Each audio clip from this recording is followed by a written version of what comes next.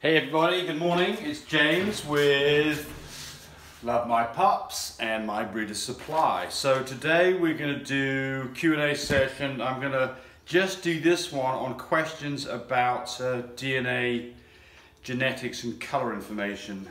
And I've got a little cat here. You're probably going to knock this video camera down before it's all finished, aren't you little bugger? All right. Okay, so first question. Want to know about producing platinums from creams?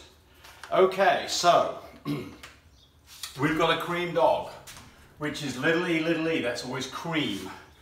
We don't know anything else about this dog, so we're going to assume that this dog is not blue, is not chocolate or cocoa. Um, and we want to produce a platinum. Now remember, a platinum dog is little e, little e, little d, little d blue, and um, little b, little b, which remember that could be little co, little co, depending on how you do it. All right, so how do we get there from that? All right, so let me get a paper towel here real quick. Let's get that off there. Okay, so this is what we're trying to produce. This is, this is a platinum. It's a cream blue chocolate dog. And we have a cream dog that doesn't carry blue and doesn't carry chocolate. How do we get here? Well, the first thing is we want to have our stud definitely wants to be, let's, let's put the stud, start off with, is the stud is what we're trying to produce. And I have a stud called Sir Humpalot. Who is that? And how, what would he produce? So get rid of what we're trying to produce. Let's see what we'll produce. We will produce little e-dogs. They will be chocolate. Half of the dogs will be one copy, or excuse me, all the dogs are going to be one copy of blue, and all the dogs are going to be one copy of chocolate. So basically what we've produced here are, that's the best we can do. That's the best we can do. So the best we can get out is we're going to get cream dogs that carry blue and chocolate. They will not be platinums, they will not be champagnes, but they will carry the ingredients to make, make a platinum down the road. So now let's take this dog here and move that dog up to the top here. So here's the dogs, the puppies that we produced. There's the puppies that we produced. Now we're going to take those puppies, this is the offspring, and put that with another unrelated platinum daddy. What are we going to produce? Okay, so again, we're producing all cream dogs. And remember, cream is like white paint. It covers everything up. You've got to do testing to find out what dogs are because without it, you don't know. The white covers everything up. It could be a brindle dog. It could be a merle dog. You will not know if it's cream because cream, like white paint, covers up all the other colors. Okay, so what do we get? So we're just going to do a Punnett square on this puppy that we kept, bred back to the platinum boy. And what do we get? We get half the dogs are blue carriers and half the dogs are blue. So we get a half and a half half blue carriers, half the blues. All right, let's just put that up on a little chart here. So here we go. So we've got half that are going to be this, and half are going to be this. 50-50. Okay, good. Right, same thing happens with the chocolate gene. We are going to get half that are chocolate carriers, and half that are chocolates. So, overall, what do we expect to get? Well, what we expect to get is some of the dogs are going to be blue chocolate carriers. Some of the dogs are going to be blue carriers that are chocolate. Some of the dogs are going to be blue dogs that are chocolate carriers. And some of the dogs are going to be lilacs. And what's the ratio going to be? So the answer to this is, is that we would get one quarter of the puppies that are going to be carriers of both blue and chocolate. And one quarter of the dogs are going to be blues that carry chocolate, so they'll be chocolate carriers. And one quarter of the dogs are going to be, whoops, one quarter of the dogs are going to be chocolates that carry blue. And one quarter of the dogs are going to be platinums. So there you go. You've got your platinums. It took you another generation and only a quarter of the dogs are platinum. So you can get there, but it's not, it's not straightforward. But that's a nice litter. I mean, that's a litter of, as long as this dog doesn't carry brindle, those dogs are going to be fawns. So they're going to be fawns that carry blue and chocolate. These are going to be blues. These are going to be chocolates. And these are going to be platinums. That's a pretty nice litter. I mean, you've got something for everybody. You've got fawns, blues, chocolates, and platinums after one generation. So there you go. So that answered a couple of questions that people had asked. Okay, somebody's now, a lot of these questions now are specific questions about what they expect to get based on what they've read. So let's just handle these now. So, somebody has got this dog. I think this was the female, not that it matters.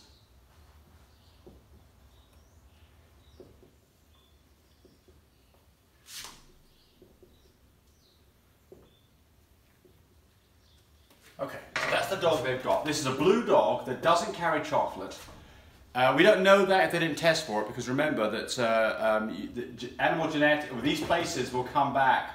If they're a cocoa dog, they won't show their chocolate. So they could be a chocolate dog, but we're assuming it's not. It's a blue dog that, that doesn't carry chocolate, that has a black mask, that has one copy of tan points and one copy of pied. So we're now going to make that to, we're going to make that to, um, what are we going to make that to? I think we're making that to a, well, I should have, oh, I, no, sorry. Someone was asking what is that dog. They asked what that dog is. I'm sorry. So, and, and they correctly said that they thought it was a blue fawn that had a black mask, that had a copy, of, that, that, that had tan points, that had a copy of pied. It doesn't have tan points, it has a copy of tan points. A tan point dog would be ATAT or ATA. Those are the dogs that show tan points, provided there is no brindle. And they didn't tell us that, so we'll call that KYKY, no brindle. They didn't give us that piece of information. This dog with one copy, and it's a fawn, blue fawn dog, it'll have a little bit of coloration above its eyes and on its paws, so it'll show a degree of tan markings, but it will not be very, it won't be obvious to see it, it won't be really bright. All right, that's that one. Okay, the next one is, they have a fawn that carries lilac. Well, that's an interesting terminology, but let's just go at this. So a dog, dogs don't carry lilac. Dogs either carry blue or chocolate, or if they carry both, they can make lilacs. So we're going to assume this is a fawn dog. That would be an AYAY dog. And it carries lilac. So we're going to assume that what they mean by this is it carries a copy of blue and it carries a copy of chocolate. And they bred that to a black brindle. Well, the brindle dog is probably going to be an AYAY, KBR, probably nothing on that side here. This is going to be an NN or K, all the terminology keeps changing on this. I get everybody confused. We'll call this KYKY. We'll call this K, KBRKY. So this is one copy of brindle. This is no brindle. Um, so it's a black brindle. So this dog is going to be DDBB. What do you get? Well, all the dogs end up being AYAY, because that's the only choices we have. AYAY. All the dogs end up either being DD no blue or DD carry blue. None of that's going to show. The dogs are either BB no chocolate or they're going to be carriers of chocolate. Again, it won't show because you've got to have two copies. Then on this, half the dogs are going to be KYKY and half the dogs are going to be KBRKY, one copy of Brindle. So what do you get here? Well, the answer is, is that this, these colours were not going to show because we don't have two copies. So they may be present, but they're not going to show. So we're not going to see, not seen. We will not see those colors. So we have, basically, we have an AY dog that's either KYKY or KBR or KY. One copy of brindle or no brindle. The dogs that are no brindle will be fawns. And the dogs that have one copy of brindle will be brindles. So there's your answer. You're going to get a litter of half brindles and half, half fawns out of that litter. Okay, and the next one.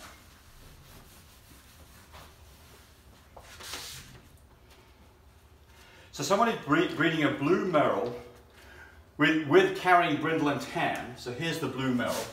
So it's a DD dog. And its MM carries a copy of merle. That's M, big M. We should always put the big letter first. That's the convention. So there it is right there. Uh, that carries a copy of brindle and tan. So this is going to be an AYAT, there's the tan points. Carries a copy of brindle, KBRKN, there's the one copy of brindle. Breeding that to a black and tan. Well, a black and tan can't carry blue. We're not even going to put the chocolate in here because she didn't mention chocolate, so we're not even considering the chocolate. We're going to assume that all these dogs are non-chocolate dogs. And because of that, we know we're going to get non-chocolate puppies. All right, so that's not even in it. The Merle, we always breed a Merle to a non-Merle. So this dog we're breeding to is an MM dog. So we're going to get half of them going to be that, and half of them are not going to be Merles. So we've got half Merles on the puppies, and half not. All right, we know that. Okay, so the black and tan, a dog that shows tan points can't have brindles. So we know the dog we're breeding to is K, KY, KY. So we know that. So now we know we're back to where we were the last one. We know half the dogs are going to be brindle because they're going to be KBRKY. And half the dogs are going to be KYKY, not brindle. So we're going to get 50-50. Okay. And we know that this dog is, uh, it's either AY, this dog is a tan-pointed dog, so it's either ATAT, it could be ATA. We don't know which it is, so we're just going to have to make a guess on this. So the answer is, we're going to get half the dogs are going to be ATATs, and half the dogs are going to be ATAYs. So, what do we get? We, we don't get any, all the dogs are going to be blue carriers because we've got two copies of not blue. So what do we get? We get dogs that don't show blue or chocolate. We get dogs of which half of them have tan points.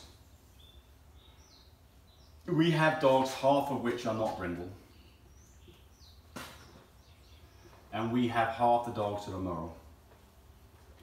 Now this is interesting because the dogs that show the tan points, they've got tan points, but they are brindle, it won't show very well. So I'm going to look at possibility of four puppies, what we'd be expect to get from four puppies, four pups. We'd expect to get half of them Merle, half of them not. So we're going to get two Merles and two not Merles. Okay. Of the Merles, we would expect to get half of them to be brindle Merles. So we're going to get a brindle Merle and a fawn Merle, because half had brindle. And then over here, we'd expect to get a brindle dog and a not brindle dog. So we'd expect to get a brindle dog and a fawn dog. So there it is. There it is. Four puppies, a brindle and a fawn, and a brindle merle and a fawn merle. The tan points are going to show up on some of these dogs, but not very many because the brindle's present. So half the dogs get tan points, but only half of those are Merle, so you're not going to see much tan pointing in those dogs. You might get one, you might not. Okay. And the next one, squirt stuff on this board. It's going to get a bit mucky. Next question, next question. Um, someone's asking, what is the best stud for a blue fawn. Best stud for a blue fawn. Well, it depends on what your goals are. So I'm going to bring this one up now because it really was going to be in the next Q&A session, but people have been saying, I've got brindle dogs, why don't you like brindles? And, and, and, I, and I keep saying, anytime I say this, I, I, I, keep saying it, but people don't listen to it. It's like, I have nothing against brindle dogs whatsoever at all. Brindle dogs are fine. I like brindle dogs, they're interesting colours. They just don't work well in my breeding program because I try to produce point, dogs with tan points, and tan points don't show up with brindle. Brindle's a dominant gene. If you've got it, it tends to muddle things up, and for that reason, I avoid brindle. but please, Quit saying, oh, I don't like brindles. Brindles are fine. There's nothing against brindles. I'm not, I'm not hammering brindles. Um, okay, so on that point, we have a, a blue fawn. So this is a little d, little d dog. We're not going to worry with the chocolate because we're assuming it's not. And since it's a blue fawn and it's a fawn, we know it's AYAY. And since it's a fawn, we know it doesn't have brindle present, so it's KYKY. So that's what we know about that dog. So what should you try to produce from that dog? Well, look, to get blues in the next generation is a cinch. All you do is put it with a blue dog. Every dog that you produce gets to be blue. Wonderful. You've got blues right away. You want to do something, you want to produce tan point dogs in the future? Well then, put it with an AT-AT dog. And if you do, you're going to get AT, AY-AT dogs, and those can produce tan points in the future. Not really going to do you much good in the first generation. Um, you want to produce platinums, uh, or you want to produce uh, lilacs, then put this with a BB dog, and you will get that. You get half blue, you get all blue, cat all chocolate carriers. They won't show it, but they can produce lilacs on their puppies. And then absolutely, we're back to this brindle business. I would not choose a brindle dog. Get KYKY, keep brindle out of it. So that's what I would do. I would at the very least mate to a, at the very least, I would mate to this. Blue dog that doesn't carry brindle. And if you want to get other colors in there, then you know introduce other colors like blues and chocolates and creams. Because you, if you're going to keep a puppy and you've got a little breeding program that you want to get going, you'll produce some interesting dogs if you can get those colors in there. They won't show, just like this here, they won't show. You could get a cream in there. It won't show. You could get but you will be able to produce more interesting dogs when you have got those colours present. So, which is the best stud for this? Well, um, if you looked at my boys, the boy that I would choose if I was breeding this would be my guy called Sir Humpalot. He's homozygous. He is, he is blue, he is chocolate, he is cream, he's double A recessive. He can produce any colour you want, and he's a wonderful choice. But he is not the only dog out there for you to breed against, and it's certainly not the only dog that I have that you could breed against. Okay coming on 20 minutes. Let's see if we can't pump a few more of these out. Uh, so somebody's asking about a blue and tan that carries cream bred to a lilac and tan. All right, so here we go. So we've got a blue and tan, DD, um, uh, and we're assuming it's tan points, AT, AT, uh, that carries cream, so it's E little e. Since it's, uh, um, since it's a, it's a tan pointed dog and it shows, we know it doesn't have brindle. Good. Bred to a lilac, DD, BB. This, by the way, we're just going to roll this over a little bit, give us a little space here. We're going to assume that this is a non-chocolate dog. Bred to a lilac, here's the lilac, with tan points. Doesn't say it carries cream, so we assume it doesn't. And since it shows tan points, it has to be no brindle. So what do we get? We get all no brindle dogs. Whoop-de-doo, good deal. We get all blue dogs, great.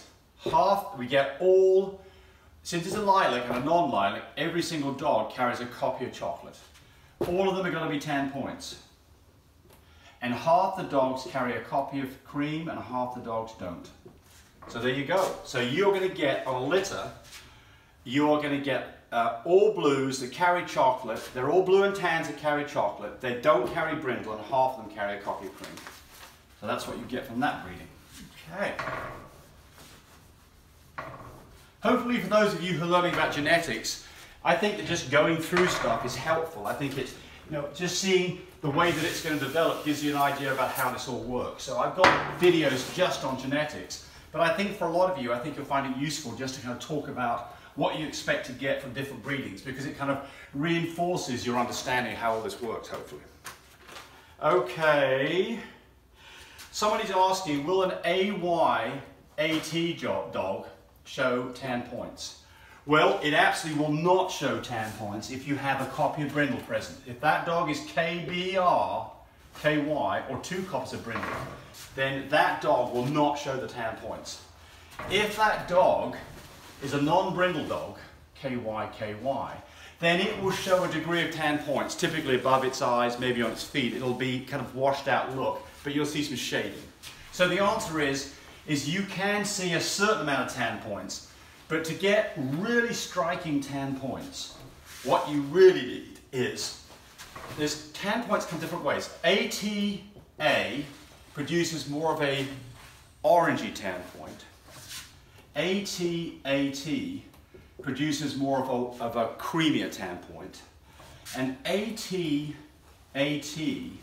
with a copy of cream produces really nice tan points. So if you see a dog that's got really white tan points, you can almost always bet that that dog is an ATAT dog with a coffee cream. There's tan points for you. And we're getting near the end of this. Um, I've got a pied dog with a red eye glow. Okay, so remember pied, again, double recessive gene, SS, that's a pied dog.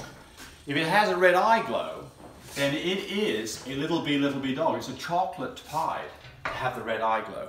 It could be, remember there's two versions, it could be little CO, little CO. I've drawn that as big CO. It could be CO, CO. Could be that too. But basically, it's, if it's got a red eye glow, it's a chocolate dog. It's chocolate. So it's a chocolate pied. Unless it's a Merle. If it's a Merle, we get red eye glow regardless of whether we've got chocolate present. So we don't know if it's a Merle. And by the way, now you can test for this. Um, okay. Somebody else says, I have a white with a red eye glow. Okay, so what is that? So the white is a cream dog. So that's little e, little e. And little e, little e with a red eye glow is also that. And that is what you call a champagne. So long as it's not a Merle again, a cream, a cream dog that has a red eye glow is in fact a chocolate dog covered in cream, which is a champagne. That is a champagne, that's what we call that. And one thing to be careful on this is, is that you can have a white dog that is in fact a pied dog. A pied, extreme pied, has very little or hardly any colour anywhere on it. I produce one that's just got a little bit of colour on the tips of its ears. Got to be careful on those dogs, and that's another whole quick Q&A session where we talk about what you do with extreme pieds. So just to be careful that you don't breed a extreme pied back to a pied or a pied carrier. Um, and just the last couple of things on this while we're running into the 30 minute mark. Test kits. So the test kits, the ones that I have been using for a long time come from targetvet.com. You have to draw blood. Those tests are pretty good. I am now selling a progesterone machine manufactured by a company called Find, is called Finecare from Wondfo. I love this machine. And this, by the way, is $15 a test. You buy 12 tests for like 150 bucks. This here is like a $2,800 machine but you're down to $9 a test and it's super accurate. Very good, very, very good machine. Love this machine. So you go to my website, My Breeder Supply, if you want to find out about the Finecare products. And somebody's asking about where do you get your color DNA test done at. I exclusively go to Animal Genetics out of Tallahassee, Florida. Animal. Very good people. There's other people out there, genetics. They now when you do a complete coat color test for 130 bucks, they include both the cocoa and the testable chocolate as part of that test. I love these people, they're very good. UC Davis, uh, VetGen, they're good too. Um, I do like Animal Genetics because they're super fast about getting stuff done. You can order te swab test kits, they're free. If you're going to do a swab test on a dog, if it's a puppy, it needs to not be nursing for six hours before you swab it, otherwise you'll get mum's DNA in there as well. You can remove dew claws and send them off. You can prick a dog's pad to get a little bit of blood and send that off. Uh, older dogs, you can just do a swab. I like these people. Um, they are nice people. They are pretty quick. Typically, if you send your sample in, you will get an email back to say they're in the process of testing, and a couple of days later, you'll get the test results that you can see on their site. So that's it. If you like our videos, give us a thumbs up. We'd really love it if you subscribe to us. Um, if you've got other things you want us to talk about, then just, you know, put that in the comments. If we've got things wrong, let us know. Um, and uh, hey, have fun with your puppies, be nice to your doggies, and bye-bye, everybody.